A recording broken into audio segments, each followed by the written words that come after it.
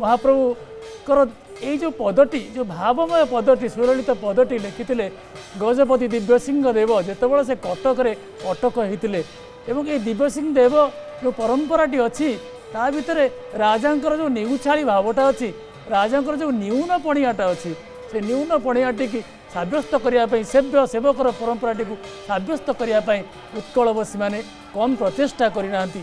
ଅତ୍ୟଧିକ ପ୍ରଚେଷ୍ଟା କରାଯାଇଛି ଏବଂ ଆମ ଓଡ଼ିଆ ଲୋକମାନେ ଆମ ଓଡ଼ିଶାବାସୀମାନେ ମଧ୍ୟ ତାଙ୍କୁ ସସମ୍ମାନେ ସ୍ୱାଗତ କରିଛନ୍ତି ଏ ପରମ୍ପରା ଅଦ୍ୟାବଧି ପ୍ରବାହିତ ହୋଇ ଆସିଛି ଆପଣ ଦେଖିପାରୁଥିବେ ଯେ ଉଁ, ବର୍ତ୍ତମାନ ଶ୍ରଦ୍ଧାବାଲିଠାରୁ କିଛି ବାଟ ଆସିଛି ବର୍ତ୍ତମାନ ମା ସୁଭଦ୍ରିକାଙ୍କର ରଥ ଯେ କୃଷ୍ଣ ଲୋହିତ ରଙ୍ଗର ରଥ ମା ସୁଭଦ୍ରିକାଙ୍କର ସାର୍ ଯାହା କହୁଥିଲେ ଏ ସୁଭଦ୍ରିକା ଗୋଟେ ହେଉଛନ୍ତି ବିସର୍ଗ ନନ୍ଦାତ୍ମିକା ବିସର୍ଗ ଗୋଟିଏ ଶୂନ ଉପରେ ଆଉ ଗୋଟିଏ ଶୂନ ବା ଗୋଟିଏ ଜୀବ ବ୍ରହ୍ମ ଉପରେ ଆଉ ଗୋଟିଏ ପରମ ବ୍ରହ୍ମ।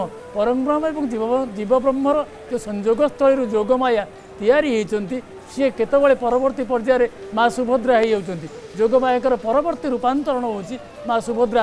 ଯଦି ଆମେ ଦ୍ୱାପର ଯୁଗକୁ ଦେଖିବା ତେଣୁ ସୁଭଦ୍ରାଙ୍କୁ ଯୋଗମାୟା ଭାବରେ ଆମେ ଦେଖିବା କେତେବେଳେ ତାଙ୍କୁ ଆମେ କାମ୍ପିଲ୍ୟବାସିନୀ ଭାବରେ ଦେଖିବା ଏବଂ ତାଙ୍କୁ ଅନ୍ୟ ରୂପମାନଙ୍କରେ ମଧ୍ୟ ଦେଖିପାରିବା।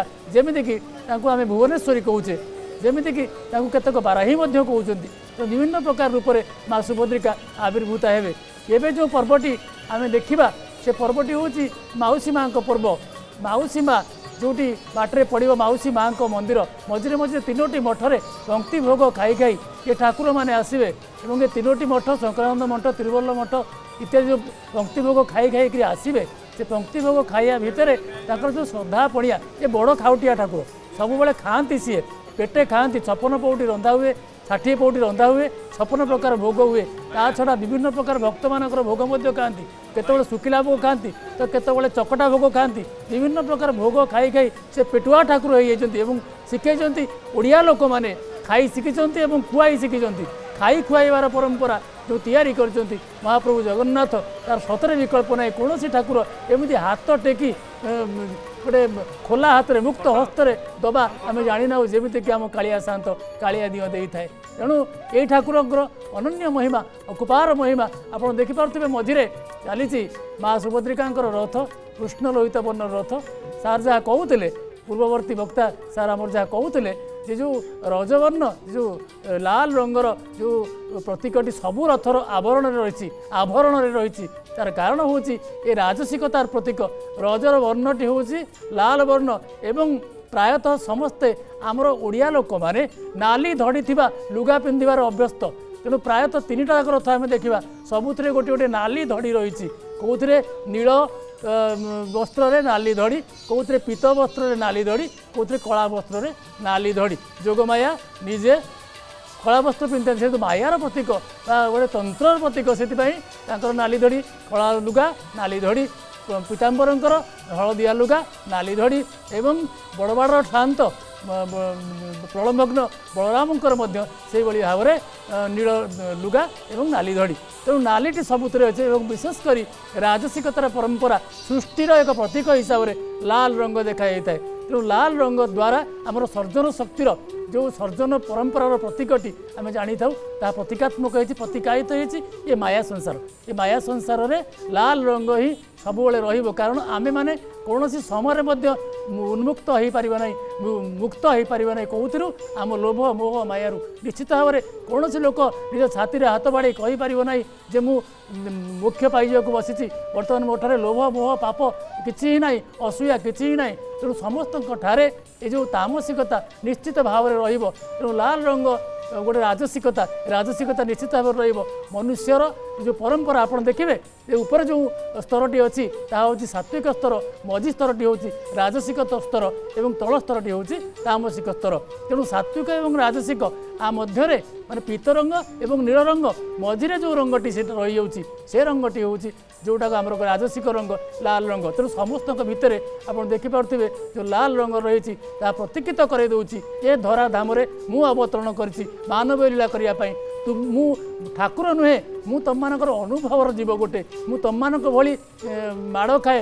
ମୁଁ ତମମାନଙ୍କ ପରି ଚୋରି କରି ଧରା ପଡ଼େ। ମୁଁ ତମମାନଙ୍କ ପରି ଅନେକ କ୍ରିୟାକଳାପ କରିଛି ଅସାଧ୍ୟ ସାଧନା କରିଛି ଏବଂ ବେଳେବେଳେ ମଧ୍ୟ ହାରିଯାଇଛି ଯେମିତିକି ରାଧାରାଣୀ ପାଖରେ ମନ ବନ୍ଧା ପକାଇ ଦେଇ ଆସି ପହଞ୍ଚି ଯାଇଛି। ତେଣୁ ସବୁବେଳେ ମୁଁ ବ୍ରଜେନ୍ଦ୍ରନାଥ ହେଇକି ରହିଛି। ମୋତେ ଯେଭଳି ଲୋକ ଲକ୍ଷ୍ମୀଙ୍କ ସହିତ ଦେଖନ୍ତି ନାହିଁ ମୋତେ ଯେଭଳି ରୁକ୍ମିଣୀଙ୍କ ପତି ହିସାବରେ ଦେଖନ୍ତି ନାହିଁ ତାଠାରୁ ଅଧିକା ମୋତେ ଦେଖନ୍ତି ରାଧାଙ୍କର ପ୍ରିୟ ପୁରୁଷ ହିସାବରେ ରାଧାଙ୍କର ଇପ୍ସିତ ପୁରୁଷ ହିସାବରେ ତେଣୁ ସେ ପ୍ରେମରେ ବନ୍ଧା ସେ ଭାବର ଗୋଇଠା ଖାଇଥାନ୍ତି ଏବଂ ସବୁବେଳେ ଭାବରେ ବନ୍ଧା ହେଇଥାନ୍ତି ଆଜି ଆପଣ ଦେଖିପାରୁଥିବେ ଯେ ରଥ ଚାଲିଛି। ବର୍ତ୍ତମାନ ଶରଦାବାଲିରୁ ନୀଳାଚଳ ଆଡ଼କୁ ରଥ ଚାଲିଛି। ମଝିରେ ମଝିରେ ଜଳ ସିଞ୍ଚନ ହେଉଛି। ଏ ଜଳ ସିଞ୍ଚନ ପରମ୍ପରା ହାତୀ ଶୁଣ୍ଡରେ ଜଳ ସିଞ୍ଚନ କରେ। ତେଣୁ ଯେଉଁ ହାତୀ ଆସୁଛନ୍ତି କଳା ହାତୀ ଏବଂ ଧଳା ହାତୀ ସେମାନେ ଜଳ ଜଳପ୍ରିୟ ଏବଂ ଜଳ ସିଞ୍ଚନ କରୁଛନ୍ତି। ଏବଂ ଜଣାପଡ଼ୁଛି ସତେଅବା ଗୋଟିଏ ଗୋଟିଏ ଏଇ ଯେଉଁ ମନୁଷ୍ୟମାନେ ଯେଉଁ ଅଳ୍ପ କିଛି ଲୋକ ଅଛନ୍ତି ସେମାନେ ମନୁଷ୍ୟ ନୁହନ୍ତି ସେ ସବୁ ଗୋଟିଏ ଗୋଟିଏ ହେଉଛନ୍ତି ପଦ୍ମ ଫୁଲ କାରଣ ଆଜି ହେଉଛି ପର୍ବ ପଦ୍ମ ଫୁଲର ସମ୍ଭାର ପର୍ବ।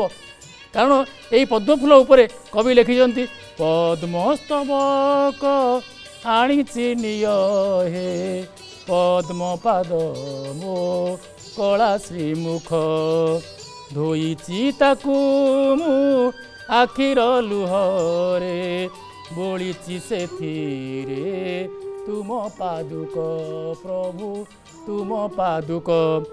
କବି ବିଷ୍ଣୁ ସାହୁଙ୍କର ରଚନା ଆପଣ ଜାଣିପାରୁଥିବେ ଏଇ ଯେଉଁ ପଦ୍ମ ଫୁଲ ସେଇଠି ଯେତେବେଳେ ମତ ହସ୍ତିଟିଏ ଗଜରାଜ ଆମର ଯେଉଁ ଇନ୍ଦ୍ରଦୁମ୍ନ କଥା କହୁଥିଲେ ତାଙ୍କ ପରବର୍ତ୍ତୀ ରୂପଟି ହେଉଛି ଗଜରାଜଙ୍କ ରୂପ।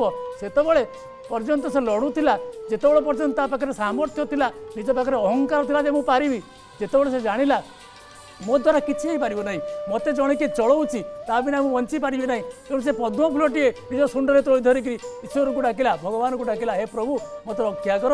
ଏ ହୁ ହୁ ନାମକ ଗନ୍ଧର୍ବ ଏ ଯେଉଁ ନକ୍ର ମୋତେ ଭକ୍ଷଣ କରିବାକୁ ଯାଉଛି। ମହାପ୍ରଭୁ ମୋତେ ରକ୍ଷା କର ମୋତେ ରକ୍ଷା କର। ଏବଂ ମହାପ୍ରଭୁ ଆସିଲେ ଏ ଚକ୍ର ବା ଯେଉଁ ନୀଳଚକ୍ର ଉପରେ ଉଡ଼ୁଛି ଶ୍ରୀମନ୍ଦିର ଉପରେ ଯେଉଁ ନୀଳଚକ୍ର ରହିଛି ଅଷ୍ଟଧାତୁର ନୀଳଚକ୍ର ତାହା ଆସିଲା ଏବଂ ତା ଭିତରେ ନକ୍ର ଭିତରେ ପଶିଲା ଏବଂ ସେଇଭଳି ଭାବରେ ଅବିକୃତ ହୋଇ ପଳେଇ ଆସିଲା।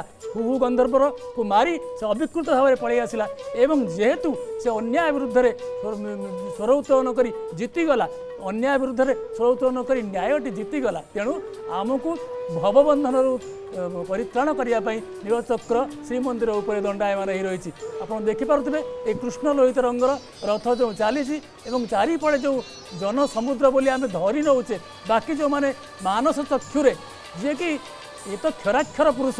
ଏ କ୍ଷର ଠାରୁ ଭିନ୍ନ ଅକ୍ଷର ଠାରୁ ମଧ୍ୟ ଆହୁରି ଉର୍ଦ୍ଧ୍ୱ। ତାଙ୍କୁ ବର୍ଣ୍ଣନା କରିହେବ ନାହିଁ। ସେଥିପାଇଁ ଏ ହେଉଛନ୍ତି ପୁରୁଷ। ପୁରୁଷ କାହାକୁ କହନ୍ତି?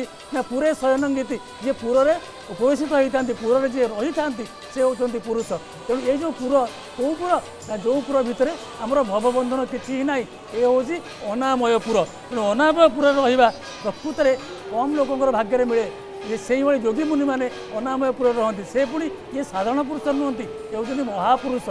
ମହାପୁରୁଷ ହେଉଛନ୍ତି ଶ୍ରୀ ଜଗନ୍ନାଥ ଗୋଟିଏ ମହାପୁରୁଷ ହେଉଛନ୍ତି ଶ୍ରୀ ଜଗନ୍ନାଥ ଗୋଟିଏ ଭଗବାନ ଗୋଟିଏ ବ୍ରହ୍ମମୟ ସତ୍ତା ହେଉଛନ୍ତି ଶ୍ରୀ ଜଗନ୍ନାଥ ତେଣୁ ବ୍ରହ୍ମମୟ ସତ୍ତା ହିସାବରେ ଆମେ ତାକୁ ଦେଖିଛେ। ଅବଶ୍ୟ ଦାସିଆ ବାଉରୀ ତାକୁ ବନ୍ଧୁ ଭାବରେ ଦେଖିଥିଲା।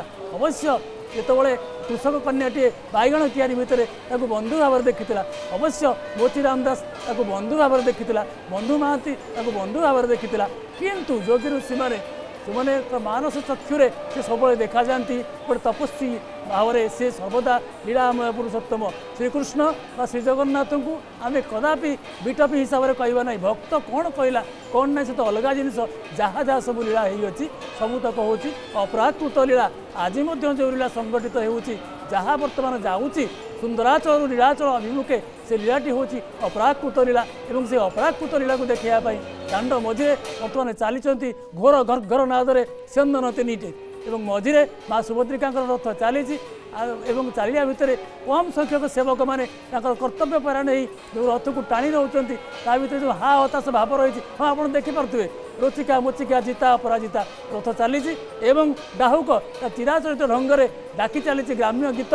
ଯେଉଁ ଗ୍ରାମ୍ୟ ଗୀତ ମଧ୍ୟରେ ଶ୍ଳୀଳତା ଅଶ୍ଳୀଳତାର ଗୋଟେ ପାଚେରୀ ଠିଆ ହେଇଛି ବହୁ ଲୋକମାନେ ଆକୁ ଆକ୍ଷେପ କରନ୍ତି ଯେ ଏହା ମଧ୍ୟରେ ଅଶ୍ଳୀଳତା ଭରପୁର ହେଇ ରହିଛି। କିନ୍ତୁ ନା ନା ଶ୍ଳୀଳ ଏବଂ ଅଶ୍ଳୀଳ ଗୋଟିଏ ଆଖିର କଥା ଗୋଟେ ଆଖି ଭିତରର କଥା ତା ମାନସିକତା ଅସାରତାର କଥା ଯାହାକୁ କି ସୂଚାଇ ଦେଉଛି ଯେ ନାଇଁ ଆମେ ସମସ୍ତେ ଏ ପୃଥିବୀକୁ ପିଣ୍ଡ ବ୍ରହ୍ମାଣ୍ଡ ତତ୍ତ୍ୱକୁ ଯଦି ଆମେ ଉକାରିବା ଯଦି ଦିବ୍ୟ ଦୃଷ୍ଟିରେ ଉକାରିବା ତା ମଧ୍ୟରେ ସ୍ଥିରତା ରହିଛି ଯଦି ଆମେ ସେ ଦୃଷ୍ଟିରୁ ଟିକିଏ ନିଚ ଦୃଷ୍ଟିକୁ ଆସିଯିବା ତାହେଲେ ଆମେ ଦେଖିବା ତା ଭିତରେ ଅଶ୍ଳୀଳତା ରହିଛି। ତେଣୁ ସବୁ ଜିନିଷ ଭିତରେ ଯେଉଁ ଛୋଟ କଥାଟି ଲୁଚି ରହିଛି ତାକୁ ଦେଖାଇବା ପାଇଁ ସବୁ ଖରାପ କଥା ଭଲ କଥା ସବୁର ସମ୍ମିଶ୍ରଣ ଘଟିଛି ଆଜିର ଏ ପର୍ବରେ।